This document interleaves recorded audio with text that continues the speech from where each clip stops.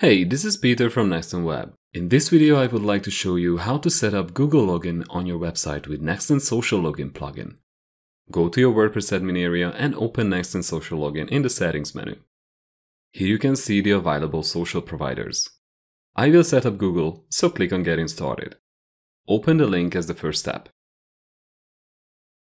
To be able to add Google Login to your site, you have to create a new project.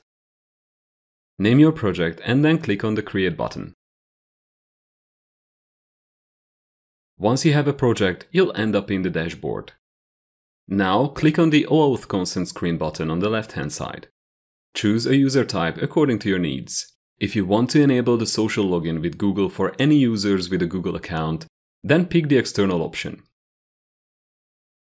Enter a name for your app to the application name field, which will appear as the name of the app asking for consent. Then fill the Authorized Domains field and save your settings. On the left side, click on the Credentials menu point. Then click on the plus Create Credentials button in the top bar. Choose the OAuth Client ID option. Select the web application under the application type. And enter a name for your OAuth Client ID. Copy the authorized redirect URIs from the Getting Started page.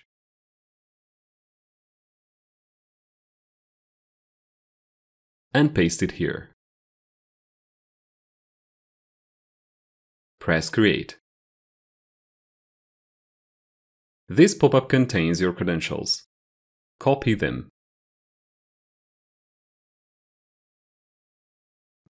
And paste your credentials into the client ID and client secret fields.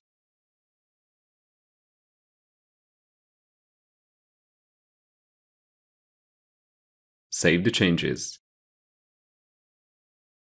After the settings are saved, you need to take a test to confirm if everything is alright. Continue as your Google user. If everything is fine, you will be able to enable your Google login button. This login button can automatically appear on the default login page, and your users will be able to log in using their Google account. This is how easy it is to add Google login to your WordPress site. I really hope you enjoyed this video, and if you did, please hit the like button. If you want more awesome tutorials, then subscribe to our channel.